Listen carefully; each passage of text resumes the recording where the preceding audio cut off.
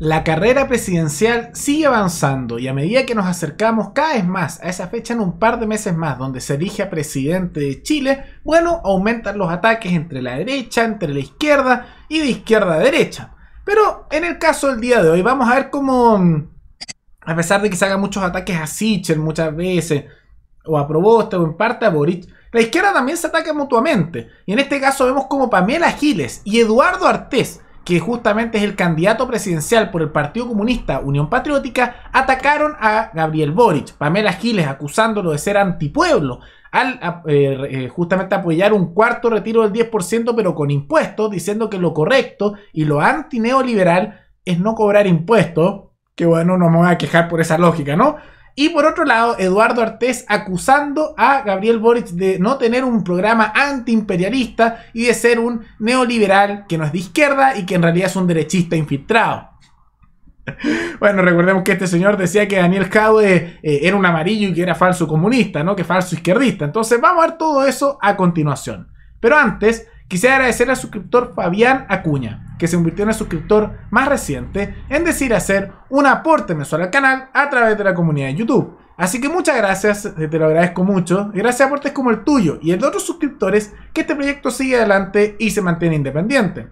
Así que si alguno de ustedes quiere hacer un aporte voluntario único por Flow, o por criptomonedas, o un aporte mensual por Patreon, o por la comunidad de YouTube, pueden decidir hacerlo mirando el comentario que se encuentra fijado abajo y también pueden apoyar este programa comentando, dando like y compartiendo este video en sus redes sociales. Recordemos que actualmente, aunque no ha sido tanta noticia, se está viendo en el Congreso el cuarto retiro del 10% de los fondos de AFP.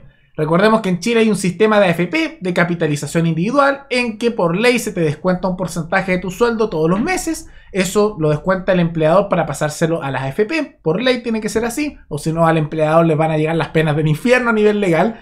Y ese dinero pasa a las AFP que meten tu dinero en la bolsa y ahí crece o baja, generalmente tiende al alza, en mayor medida dependiendo en el fondo en que uno está, de la a le. Está ese contexto. Y recordemos que se está empujando hace algún tiempo que las personas puedan retirar 10% de a poco de sus fondos por la crisis en la que se encontraba el país. Ese es el contexto. Y ahora hay un cuarto retiro que mm, no se sabe muy bien si se va a aprobar o no, porque ya la centroizquierda está pensando rechazarlo, la derecha se cuadró prácticamente por completo en no aprobarlo. Entonces peligra, pero de todas maneras se está empujando. Y dentro de eso Gabriel Boric lo estaba rechazando, pero él decidió apoyar finalmente el retiro del 10%, pero a cambio de que empezaran a pagar muchos impuestos. De esa manera robándole con el impuesto, que es un robo legalizado en contra de las personas, del trabajador, del emprendedor, robándole un porcentaje de su pensión para pasarlos a control del Estado. Porque al final, ¿qué es el impuesto? Te sacan plata forzosamente de tu bolsillo, si no quieres pagarte te meten preso, y bueno, eso pasa a control del Estado, o sea, de los políticos.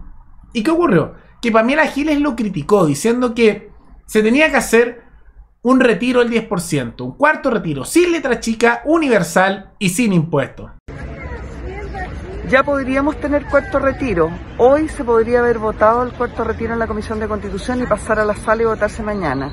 Sin embargo, hay parlamentarios, concretamente a Prodignidad, que quieren presentar indicaciones para que el cuarto retiro se pague en cuotas durante mucho tiempo y además se le apliquen impuestos. Una idea de Piñera que ha sido recogida por el candidato Boric y sus parlamentarios.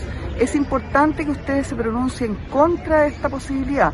La próxima semana es distrital y es necesario que ustedes le digan a sus candidatos a parlamentarios y a los parlamentarios en ejercicio, cada vez que los vean y por todos los medios, que quieren un cuarto retiro sin letra chica, sin impuestos, sin cuotas y que no van a votar por aquellos parlamentarios que presenten indicaciones para que el cuarto retiro se pague en cuotas y tenga impuestos.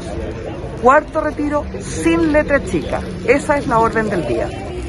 Ahí están las declaraciones de Pamela Giles. Ahora, vale la pena destacar que desde que dejó ser de, ser candidata presidencial, ahora está hablando un poquitito más tranquila. ¿Se acuerda que antes ella, ella hacía como estos discursos así como medio histéricos, podríamos decirlo, y hablando de los nietitos y todo. En cambio, ahora que está un poquitito menos vista por los medios, está hablando un poquitito más tranquila, ¿no?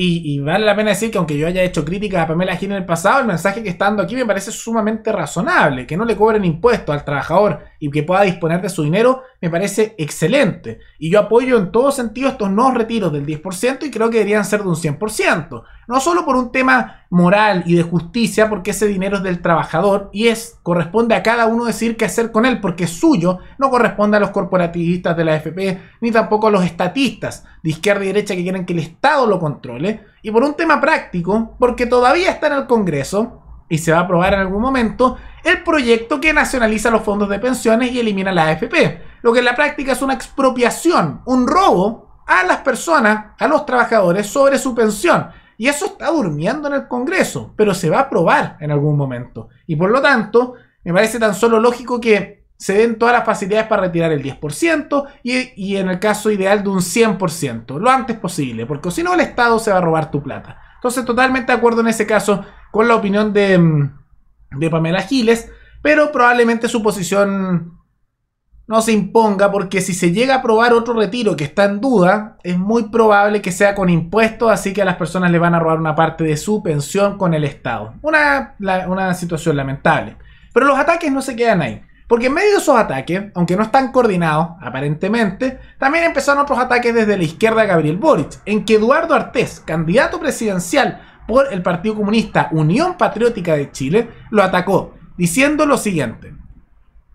Él no es de izquierda, es un burgués liberal, un burgués liberal. Claro, Gabriel Boric es un liberal, ¿no? un neoliberal me imagino que sería el discurso. ¿Y por qué dice esto? Porque eh, no es su intención, la de Gabriel Boric, destruir la actividad privada, sino reforzarla para el beneficio del país y regularla. Entonces lo que dice Eduardo Artés es que su programa no es antiimperialista, el de Gabriel Boric. No busca expropiar toda la propiedad privada. no busca expropiar tantas empresas. Eh, incluso si Boric quisiera hacer eso, no lo dice directamente en su programa. Entonces, como no quiere colectivizar, como no quiere expropiar, como no quiere estatizar todos los medios de producción, no es verdadera izquierda es una posición bien extremista, ¿no? Aunque no me sorprende tanto de, del candidato presidencial que en, las últimas elecciones defendió el régimen de Corea del Norte diciendo que era un ejemplo de democracia popular para Chile. Pero dentro de todo, hay que tomar en cuenta que Eduardo Artés ha crecido en las encuestas comparado a la última elección. La última elección sacó un 0,5, 0,4%. Ahora en las encuestas está como en un 1,9, casi 2%, que igual es bajo, pero igual es bastante más que lo que había la última vez en su última elección, que ser preocupante porque este señor, si llegara, imagínense, a sacar un 5%, preocúpense porque este, el que defiende a Corea del Norte, quiere expropiarlo todo y cree que Daniel Jadwe, el ex candidato presidencial del Partido Comunista, es un neoliberal, un falso comunista, un burgués y, que es un amarillo. O sea, para él los comunistas chilenos del Partido Comunista son falsa izquierda. Entonces cuando alguien llega con ese discurso hay que darse cuenta de lo radical que está en su posición. Pero estos son ataques que están llegando en contra de Boric. Ahora, lo más probable es que esto no le afecte mucho y pareciese haber como un, un, casi un acuerdo en la prensa para no dejarlo tan mal. Noto lo mismo con la candidatura de Proboste, porque generalmente vemos noticias que se ataca a Sichel por eh, sectores más de derecha como también de izquierda. A Proboste no se ve que le hablen nada, ni a favor ni en contra. Está como pasando calladita hasta llegar cercano al periodo de los debates. Y a Gabriel Boric, Sichel lo ha criticado de vez en cuando, pero más allá de eso, nadie lo critica demasiado. Y ahora las únicas críticas que le están llegando son desde la izquierda de él, por parte de Pamela Giles, con un, podríamos llamarlo, populismo de izquierda. Y por otro lado de Eduardo Artés, acusándolo en una espiral de pureza ideológica tal vez, de ser un falso izquierdista y de ser simplemente un derechista infiltrado. ¿Le van a afectar mucho esos ataques? No creo. Eduardo Artés se va a llevar algo los votos de la lista del pueblo y algo los votos decepcionados de Daniel Jado de los más radicales, pero lo más probable es que no se lleve mucho. Y tomando en cuenta eso, Boric eh, por algo lo muestran todas las encuestas en primer lugar y que está subiendo, porque todos se están enfocando en atacar a Sichel y a Boric no le llegan muchos ataques ni de la izquierda ni de la derecha. Entonces, como nadie lo ataca, igual eh, aparecen noticias en la televisión, en la radio y en los diarios que son positivas de él, su imagen termina mejorando. Y a este ritmo, quién sabe, eh, tal vez sea el siguiente presidente de Chile, llegando a gobernar así el Frente Amplio junto al Partido Comunista. Que sería... creo que sería algo preocupante, pero eh, bueno, al menos no es Daniel Jadwe, ¿no? Que, que, esa era la opción más radical en su momento y ahora tenemos la otra opción que es más radical, que es la de Eduardo Artés. Pero ¿qué piensan un poco estos ataques que están haciendo desde la izquierda a Boric? Desde Pamela Giles acusándolo de ser antipueblo y de bloquear algo que sería de apoyo popular, como también de las acusaciones de Eduardo Artés de que Gabriel Boric es un, simplemente un neoliberal infiltrado de falsa izquierda, o sea, un derechista. Todo eso coméntenlo abajo y recuerden que pueden recomendar algún tema, alguna noticia, tanto de Chile como de otros países, para otro video. Nos veremos en el siguiente programa. Hasta luego.